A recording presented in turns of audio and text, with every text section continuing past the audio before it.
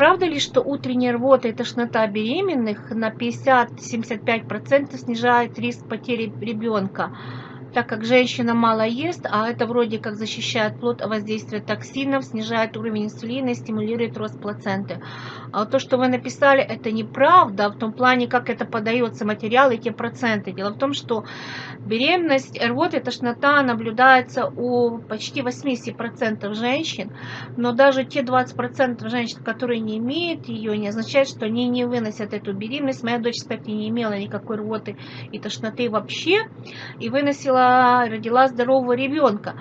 Эм, я приводила данные в одном, данные одного исследования, одном из ответов в Клубкоме, и там я говорила, что эти исследования показали, что есть незначительный, то есть незначительно понижается риск э, преждевременных родов, риск потери, то есть выкидышей, то есть э, такое, так, то есть снижение риска незначительно есть, но если даже докапываться до статистической значимости этого снижения, то слишком э, то есть это фактически статистически низкий показатель, поэтому в реальности даже не нужно над этим зацикливаться. Мало того, забудьте слово токсины, вот это слово токсикоз, которое придумали когда-то давно врачи, и до сих пор пользуются наши врачи, но не делает, не выделяет беременность какие-то токсины, не убивает вас ваш эмбрион, это же ваш ребенок, не убивает никакой, как говорится, никаких токсинов в организме беременной женщины нет.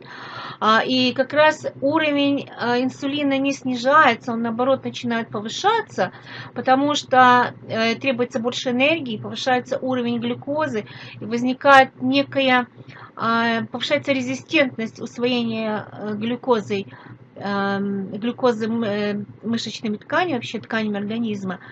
И фактически это не стимулирует рост плацента. Плацента будет так или иначе расти, если это здоровая беременность, если это здоровое зачатие.